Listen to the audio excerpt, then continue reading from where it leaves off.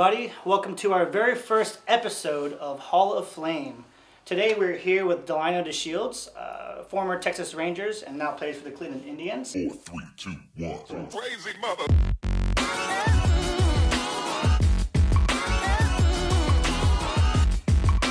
Also nicknamed Sonic because he has insane speed. But today we'll see if he can go through this challenge quickly. Welcome, Delino. Welcome, thank you. Thanks for being here. yeah, of course. So, how are you with spicy foods, though, in general? I mean, I, I remember when I was younger, I was obsessed with like ramen noodles, top ramen. You're talking to the right people. Yeah, right? and, you know, that was like the only thing that I could make that my mom would allow me to make because it was easy. You just boil a pot of water, put the thing in, and you got it. So, um, I would, my mom used to make fun of me because she used to say, What are you eating, spaghetti?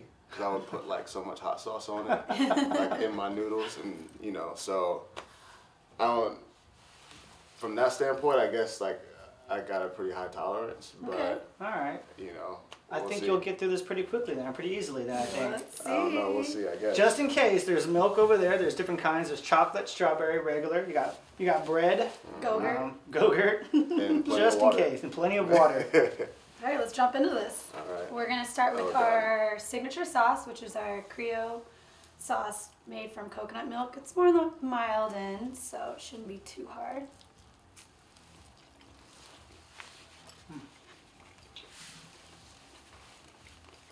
A little sweet and savory. What do you think of the sauce in general? That's really good. Mm-hmm.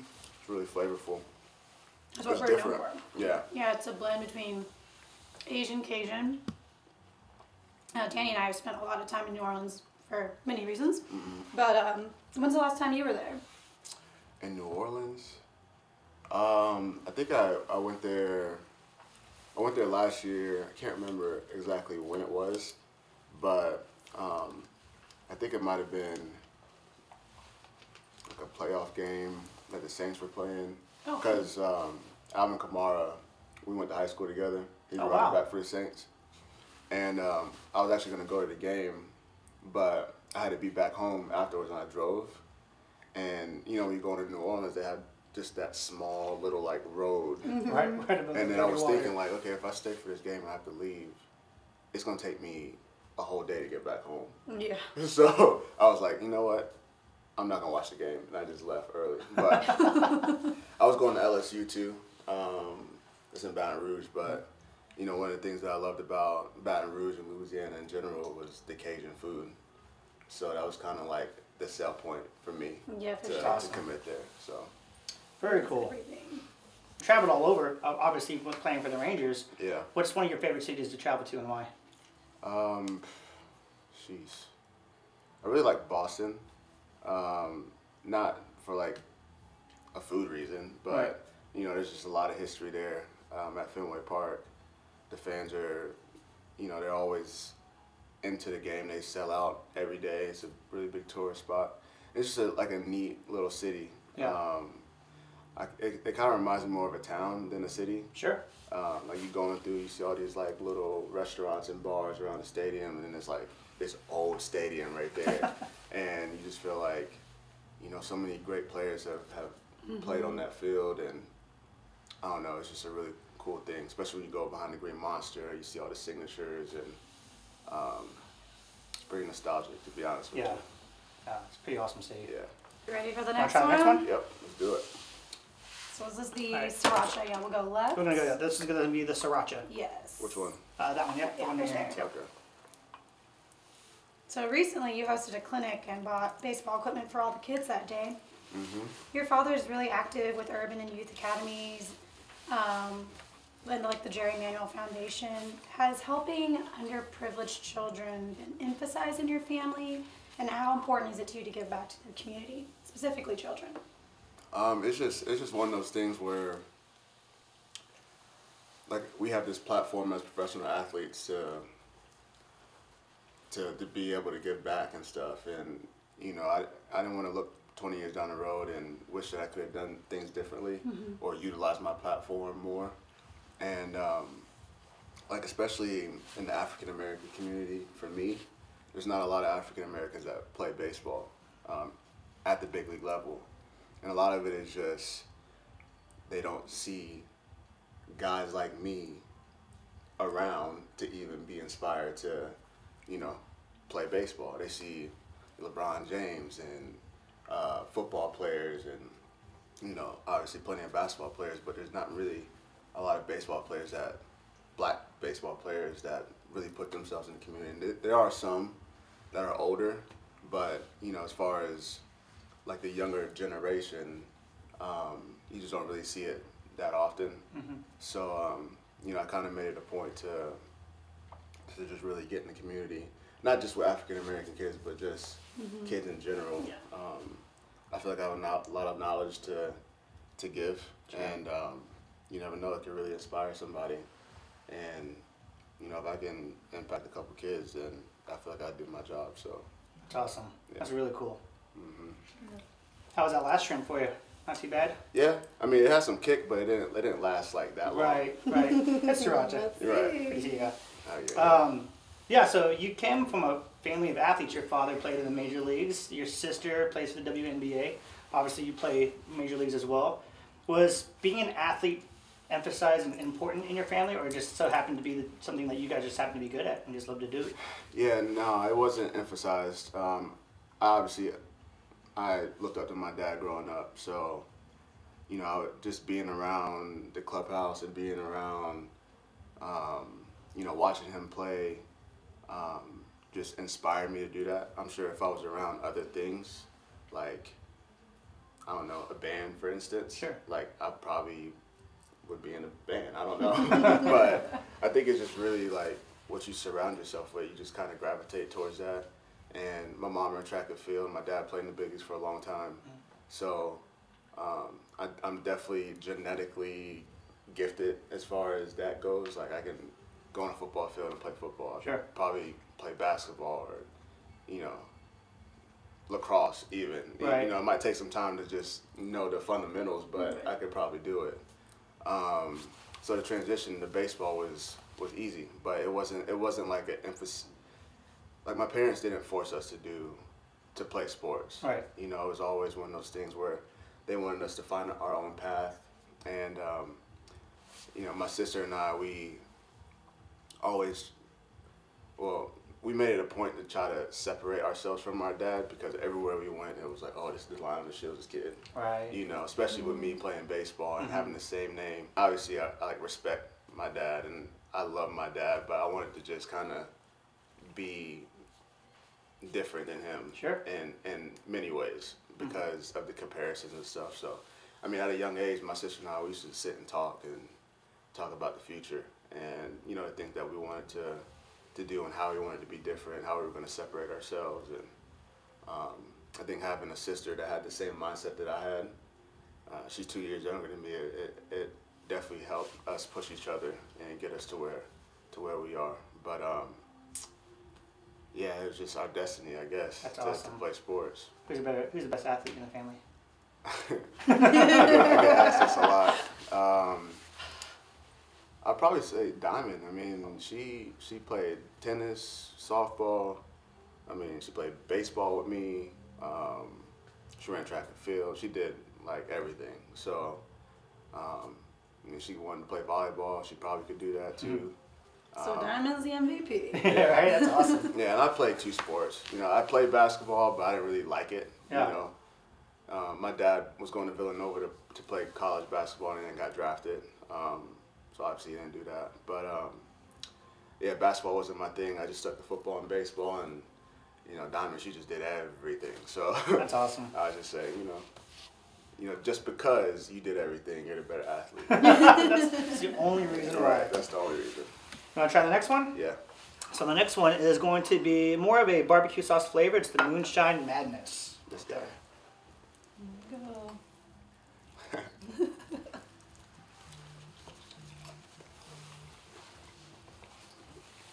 A little more of a kick. Yeah, he gets turned up a little bit.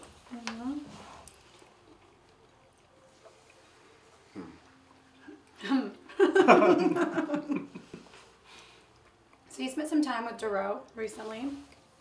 You guys did a song together, and it was your walk-up song. What was that experience like? Dorrough and I linked up for the first time. We had the little Sonic theme kind of going on with my blue hair and everything, and everybody loves him in the DFW area. He's very good in the community. There were some ideas that, that I had pitched to him. I told him I didn't want it to be all about me, obviously. That's kind of you know, I, I, didn't, I didn't want that, but just to have like little little snippets of baseball and you know incorporate me little by little. PSA, whoever trying to play better level up because it just got. How many how many seconds y'all get like on a walk up? Anywhere between like ten and fifteen.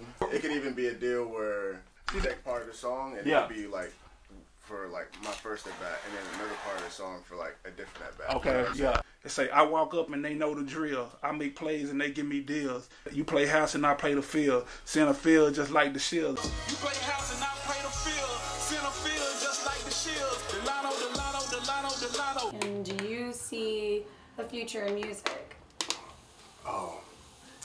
Well, honestly, do I see a future in music? No. You know, I'm not. I love listening to music. I love all kinds of music. I listen to country music, uh, old school R&B, old school hip hop.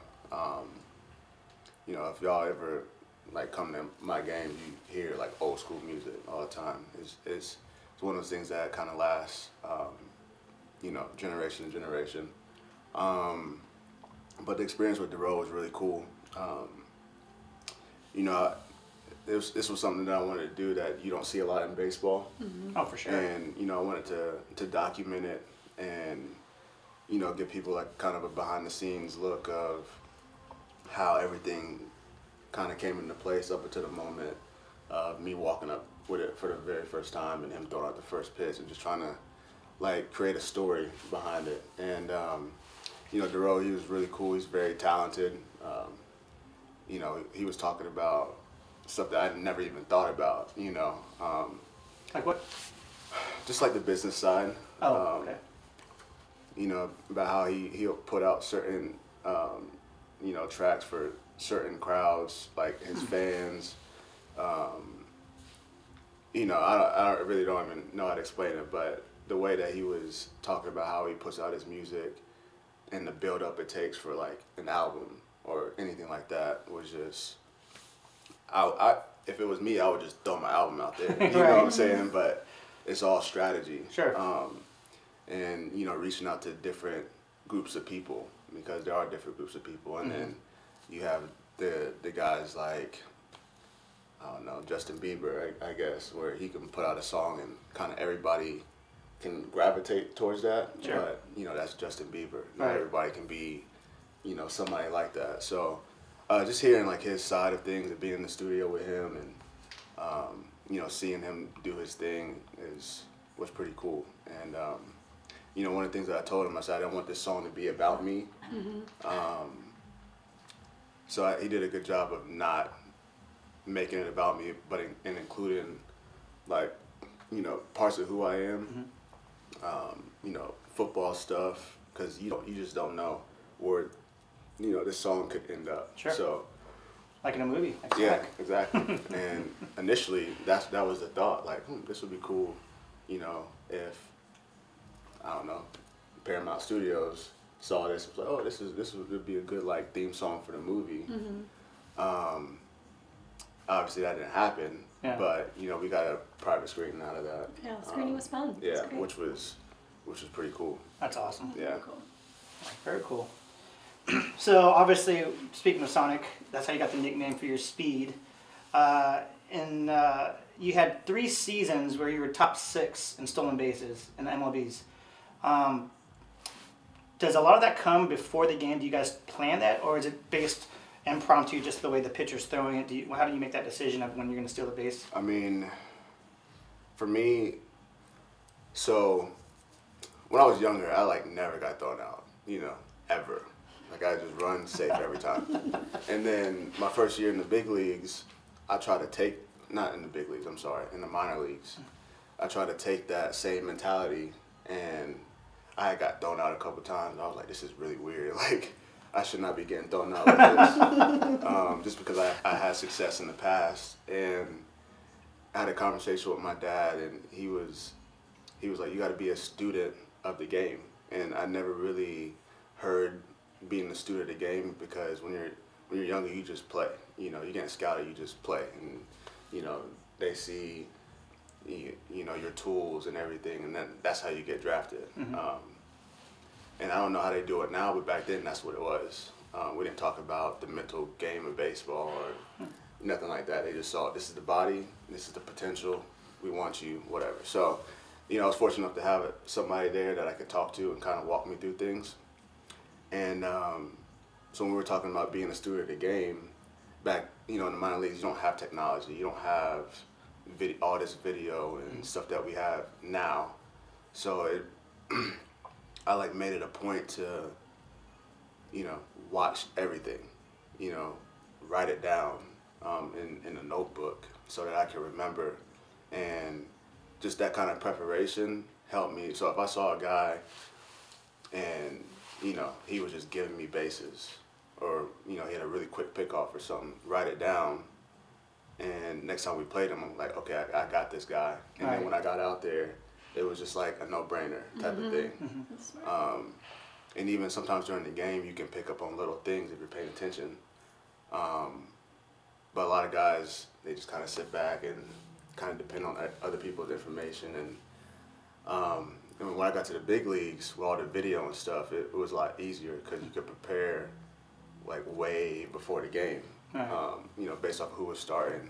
You know, the guys in their bullpen.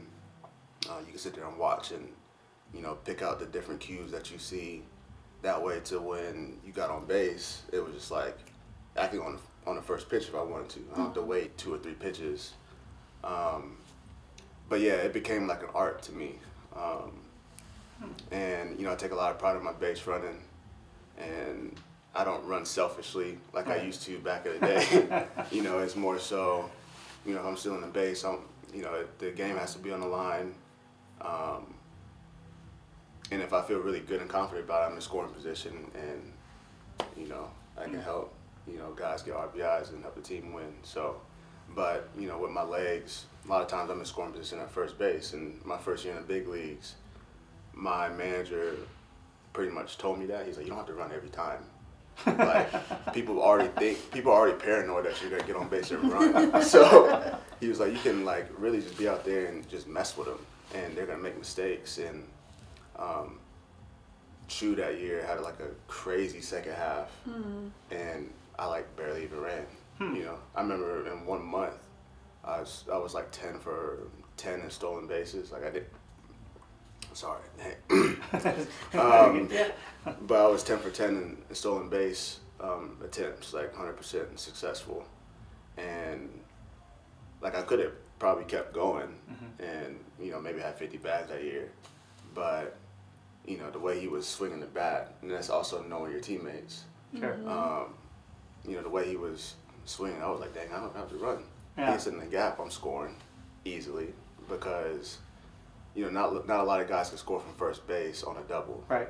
So um, then it started becoming more like, you know, ninth in the eighth, ninth inning. If I need, if they need me to get on second base, I can do that because I prepared for it. So Yeah, you're amazing base uh, stealer. So was uh, your former teammate uh, Elvis Andrus. you guys are going back and forth in terms of who had the most steals out of the team. Was there a lot of trash talking at all between? Uh, yeah, he he always talking.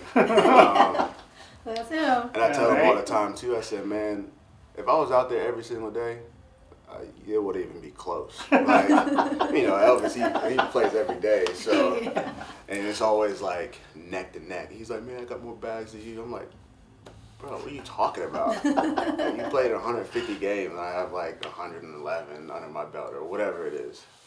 But um, yeah, he he's a he's a competitor. Um, it makes it fun sure. um, I think it really helped, especially like now he's getting older. I really feel like I mean, Oh, he, is. that. he is. I, I mean, he knows, but um, he'll tell you like I guess like a lot of days he doesn't feel good necessarily, but I feel like when I was in Texas, and that, that that's not just from me, but you know even like Danny Santana or Rugi, like we would all push each other um, to be really good on the bases, and I think the trash talk is awesome because you know guys get out there and they want to get that bag or they want to go first or third on a on a base hit or you know and I think for the past three years we were like lead the league in base running metrics and um, I think we just really feed off each other when it when it comes off of that. But somebody definitely set the tone. And I like to say that, that I set this tone all the time. But you know that's just me. But um, yeah, Elvis, we we were always uh, talking trash to each other. And he got me this year, but I was like, he got There's lucky. always Not by next much. year. Yeah, right. Want to try the next one? yeah, Let's do it. And this one is the Trinidad uh, Scorpion. Scorpion. That sounds Yeah. dangerous.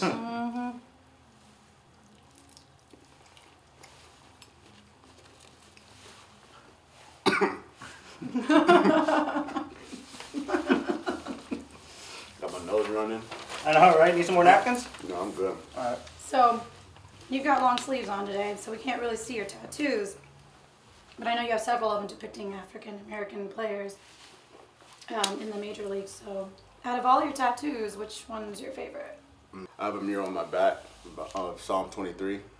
Um, that was a Bible verse that I, that I grew up um, with my grandma, my mom.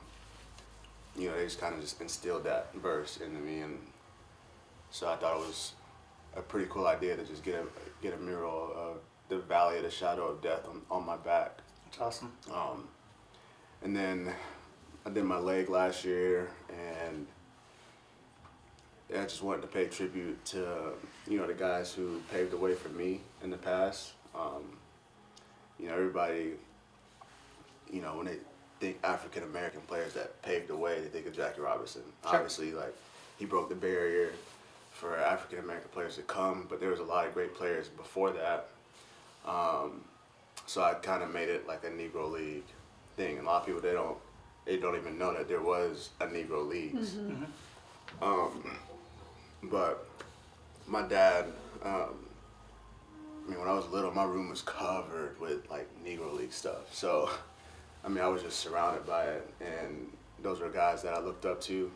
I would, you know, create players on the video game back in the day, and it'd be like these old like like Negro League players. Um, I would talk to kids that I played with. They had no idea who these people are.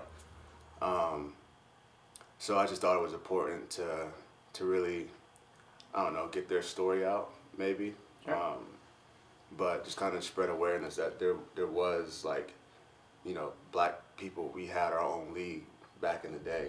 You know, and a lot of African American kids they don't they don't know that. So um, that was kind of one of those things that I wanted to do to help inspire um, the African American youth um, as far as you know baseball is related and um, I don't know I don't know if it worked but I think it does. I think it's Yeah. awesome. You know, Yeah. it's, it's part of history too. Right, and, you know, exactly. For everyone to know where, where, where it started and where it came from, I think it's important. So I think Yeah. it's really awesome you did yeah for sure for sure. You want to try uh, the last one? You ready for it? um, let me, let me I'm not ready for it. I'm, I'm pure capsaicin. Pure capsaicin. It's right here. Let's see how this goes. yikes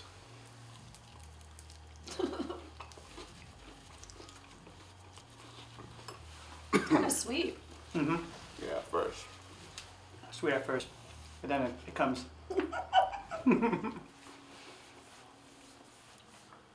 oh yeah. Tastes good. damn it man You got some more? As my lips are burning. oh man. that's by far way hotter than the one before Yeah. Whew. That, that'll wake you up. I'm gonna have I'm some like bread. up low-key. So you touched on this earlier, how um, African Americans only can account for eight percent of the rosters in major leagues. You obviously do a lot of work and uh, a lot of tutoring. Do you find it challenging um, trying to get kids involved with baseball, seeing how the popularity of football and basketball in the U.S.? Well, yeah. I mean, like I said before, that that's African Americans. You see a lot of African Americans that play football. Wow. I can't speak right now, yo. um, you see a lot of African Americans that play football. You see a lot of African Americans that play basketball, and you see their face, and I feel like that inspires the African American youth community to play those sports. And back when my dad was playing, the African American population was really high, and um, for some reason, like throughout the course of you know years, it just has been going down. I think that's just one of those things where we could do better as a sport in general.